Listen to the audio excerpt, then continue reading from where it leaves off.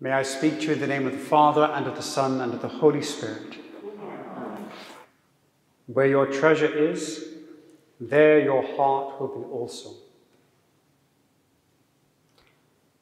When you look at your life with the days that have shaped your longing, when you gaze with compassion at your pilgrimage, noticing the landscape, the mountains and valleys, the places where the sun shines and the length of shadows touch you with a chill at times.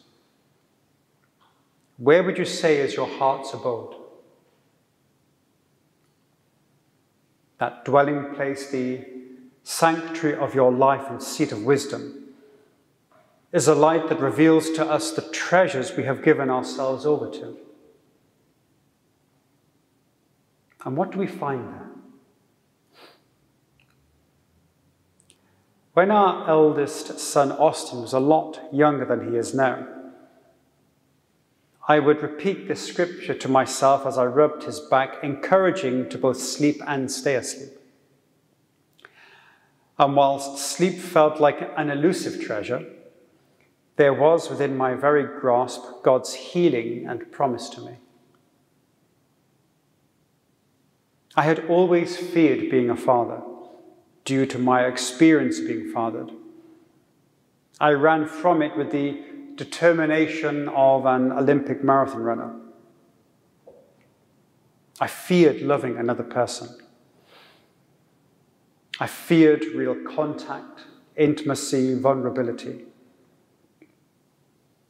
To a point, I had domesticated my life and the vision I held for my life. The wildness of God, the untamable life of Jesus, the expansive life of the Holy Spirit was a rumor at best, if not simply something for them and not me. My attachment to fear, to a constricted life, a controlled, apparently safe and secure life, became the treasure I offered to my soul the place where I would find my heart.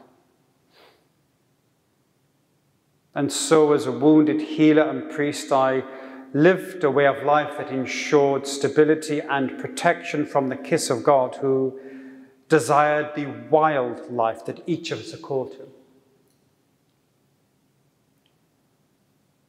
And what is this wild life? It is in our ashing and the proclamation to repent, that is, to go beyond the fixed vision and mind that we have told ourselves so often is our deepest truth.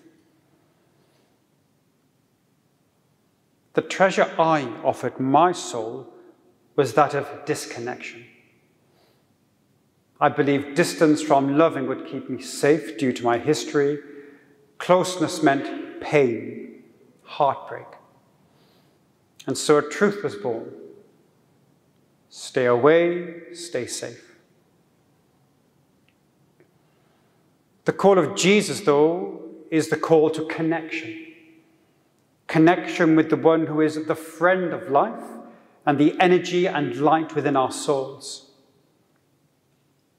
To pray, to fast, to love, to be compassionate are God's invitation to reconnect to that which truly gives life.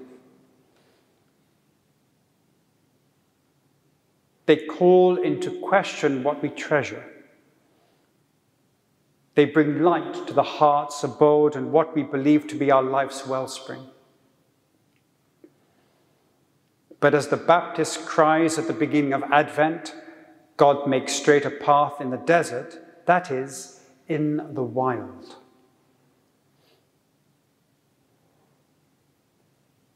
Lent is indeed our preparation for Easter.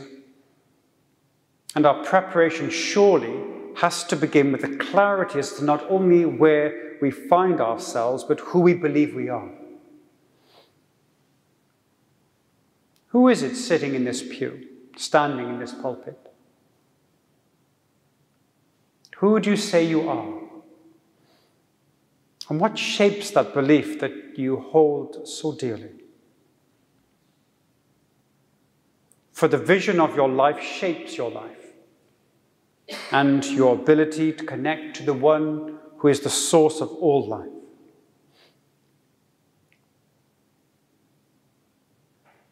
We become like the one we love. Our actions, our habits, our way of loving and forgiving will actually reveal with greater clarity who we are and what we believe more than what we tell ourselves.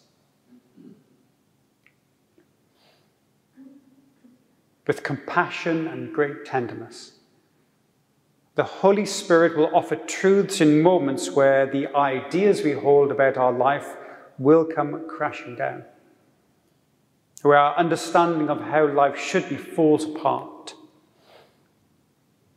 that is what repentance often looks like. It looks like us re-evaluating life and the journey thus far.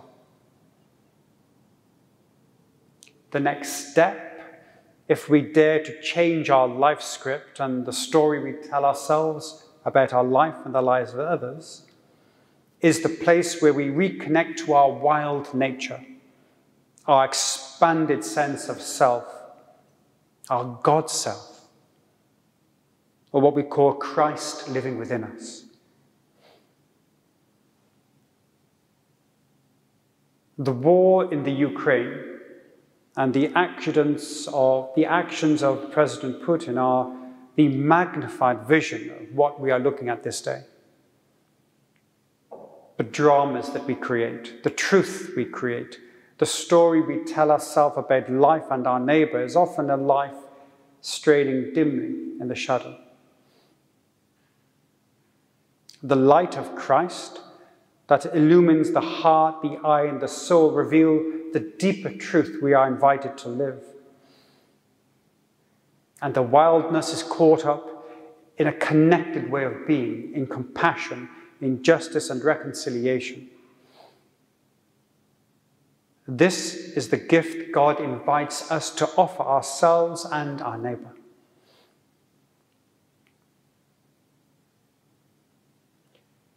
Where your treasure is, there will be your heart also. And so let us pause and ask where is my heart? Where is my treasure? But let us resist the temptation to answer with words.